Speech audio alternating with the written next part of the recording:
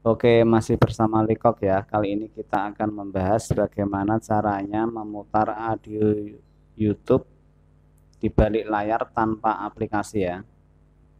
Caranya melalui Chrome ya. Chrome ini biasanya udah ada dari bawaan HP ya. Oke, kita buka Chrome. Kita klik.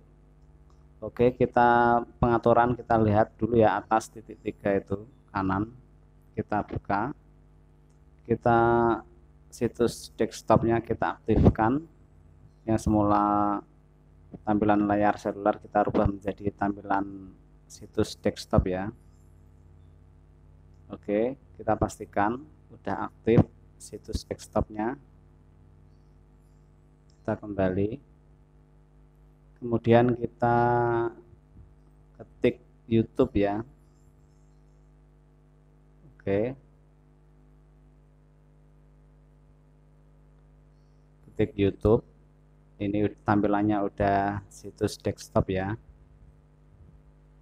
Kemudian kita pilih judul yang kita sukai ya.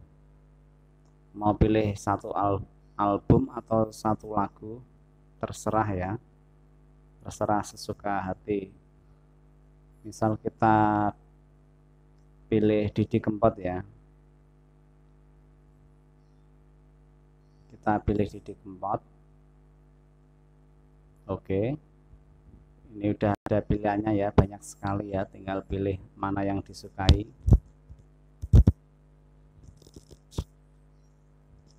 Oke kita pilih satu lagu aja coba ya satu lagu aja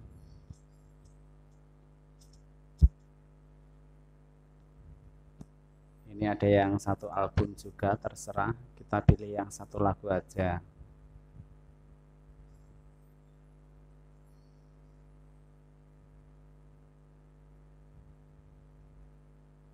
Oke kita pilih yang ini ya. Kita pilih yang ini yang judulnya tato ini. Kita klik. Kita coba ya kita klik tato ya Oke udah. Kemudian kita coba putar ya. Kita tunggu. Masih loading. Kita coba putar sebentar kemudian kita nanti matikan lagi ya. Oke kita coba putar. Kita klik kita coba putar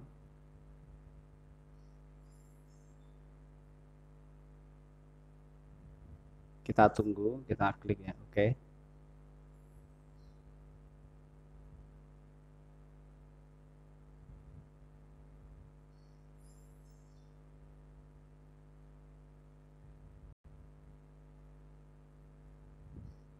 Oke, kita klik.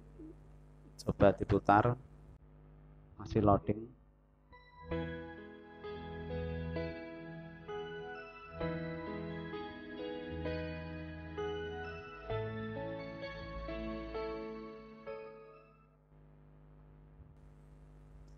Oke, kemudian kita matikan ya. Kita klik tombol bawah ya, klik standby yang ada tanda panahnya ya.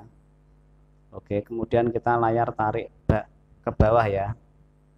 Layar dari atas tarik ke bawah. Oke, udah ada tampilan notifikasi.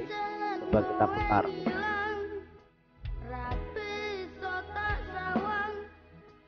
Oke, gampang sekali ya kita bisa mutar audio YouTube sambil bisa buka aplikasi lain ya. Tanpa mengganggu ya. Oke coba kita coba buka Facebook ya. Oke sudah berhasil. Oke gitu aja ya. Mudah-mudahan bermanfaat. Jangan lupa share. Oke, terima kasih.